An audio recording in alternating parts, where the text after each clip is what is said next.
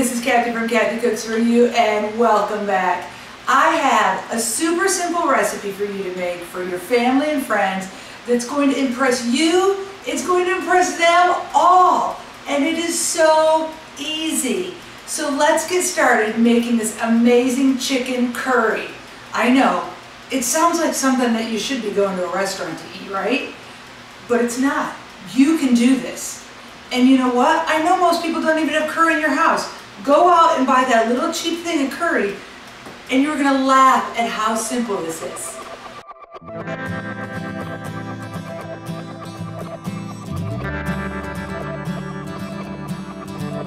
All right, we are going to start. I have, oh, let's get that. I have here chicken that I already seasoned. I seasoned this with salt, pepper, and my famous preserved minced garlic that I make. You know why I make that? Because it tastes so much better than the minced garlic you buy at the grocery store. And I'm kind of lazy when it comes to when it's time to cook. I hate peeling that darn garlic. That just ticks me off. So we're going to put this chicken in the pan, in a nice hot pan, hear that sizzle? And we are going to brown it. Now I had six huge chicken thighs, so I cut them into halves. And we are just going to brown both sides and cook all the way through or almost all the way through. We're going to put them back in once we have the sauce going so they'll be able to finish up. But we are going to get both sides nice and brown and beautiful. Our chicken is done and so we're going to put it in this bowl. Are you ready to see how easy this dish is? Oh, this chicken looks great. Nice and brown and I've got tons of good crispy bits in the bottom of this pan that's going to help flavor the rest of the dish, so we want that too. So we're just going to set this off to the side, and it's okay if some pieces aren't 100% cooked. You at least want like 80% cooked. Now for the next step. All right, so we are going to now add our onion and our carrots. And we're going to let those cook a bit since carrots take so long to cook. So let's get some more um, salt in that. I'm out of salt. So uh, let's get a little more salt in here. Salt up that and let the carrots and the onions sweat a bit. Oh, you guys are going to love this.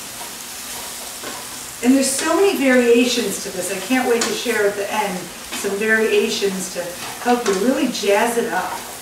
I'm going to add a little olive oil to our pan just to get those going.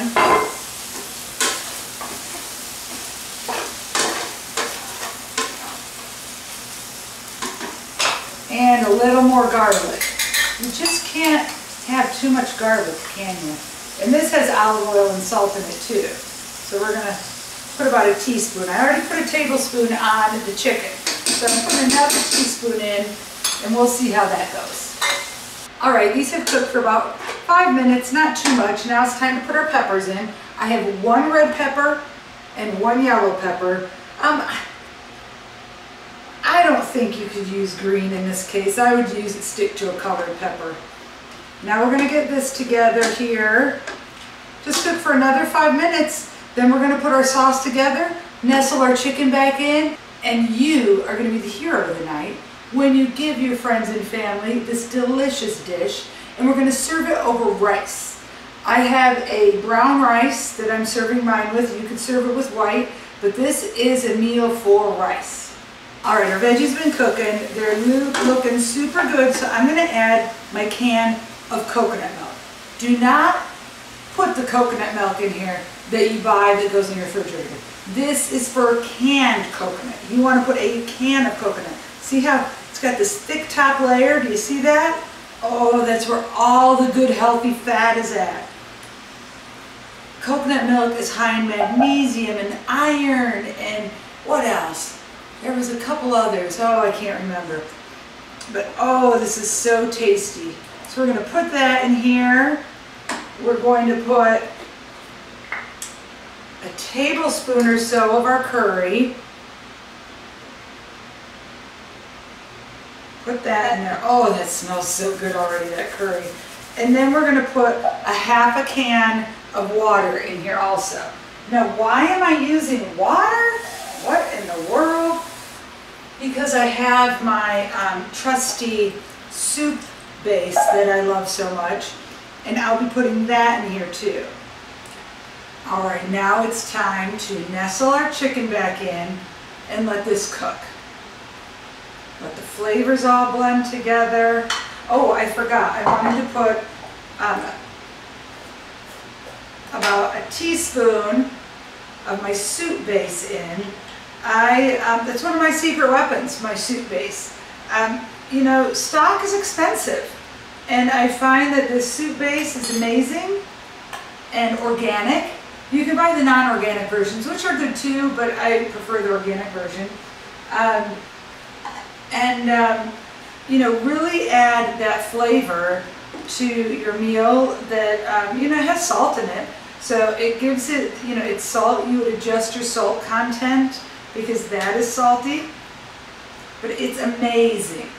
It can be purchased in my description box down below. So just click that and you can purchase some and have it as your secret weapon too. Put those juices in there and then let's get our lid on. Oh, I gotta go grab my lid. Let me see. Way over here. Get my lid, put that on, and let's let, let that cook. Now I also have my pineapple to put in. And that I'm gonna put in at the end. You don't have to put pineapple in this. You can if you want to. Uh, last time I made it, I didn't put pineapple in it, but I thought this time I'm going to. I had it at a restaurant once, had a curry dish at a restaurant that used pineapple, and it was delicious, so I thought I'd try. So we're gonna let this simmer now. Let's really get these nestled in here and get flavors on them all, flip them. We need to get all that amazing curry over all of it. All right, this has been going for about 20 minutes now. So I'm gonna take the lid off. Oh, it smells so good. Now, try it at this point. See if you wanna add the pineapple. You may not wanna add the pineapple to it. Um, that's completely up to you. So let's see if we wanna add the pineapple. So I'm just gonna try a little broth. Oh, it's so good. And now I'm gonna just see if this pineapple will complement it. It definitely can add pizzazz.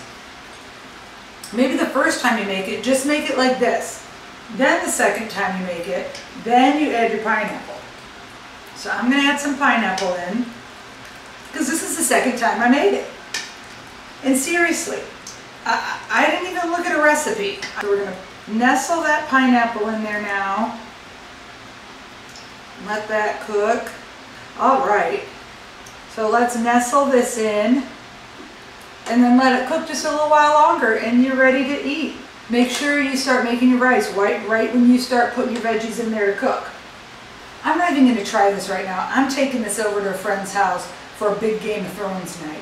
So let me tell you what you can do to make this even over the top. Now it tastes good just like this guys, but if you have these ingredients or if you'd like to go out and buy them or try them, go ahead. Like some cilantro.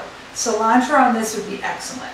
What else could you put? Cashews. Cashews would be so tasty on top. They put raisins in curry. You can put some golden raisins on top.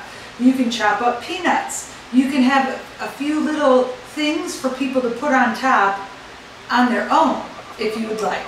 And let me tell you, I had it my first time with cilantro. Oh, it was absolutely amazing. Now my husband, he didn't know to put cilantro on it because he ate it like three hours after me. He loved it with nothing on it. So, don't think you have to have those extra things. You don't. Thank you so much for watching Kathy Cooks You. I'd love to hear from you with a comment or maybe a thumbs up. And I would love it also if you subscribe to my channel. I hope you have a wonderful day.